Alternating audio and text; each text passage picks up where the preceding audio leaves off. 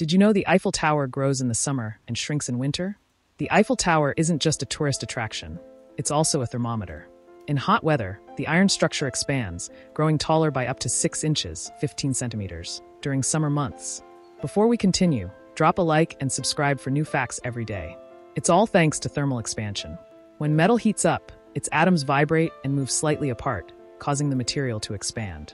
The Eiffel Tower, made of about 7,300 tons of iron, reacts noticeably to temperature changes. When temperatures rise, the metal stretches. When it cools down, it contracts.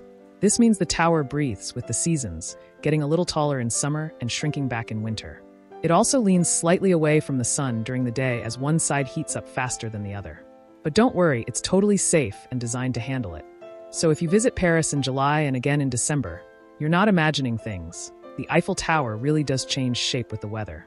It's one of the most famous monuments in the world, and it's constantly on the move, just a little. Subscribe for more.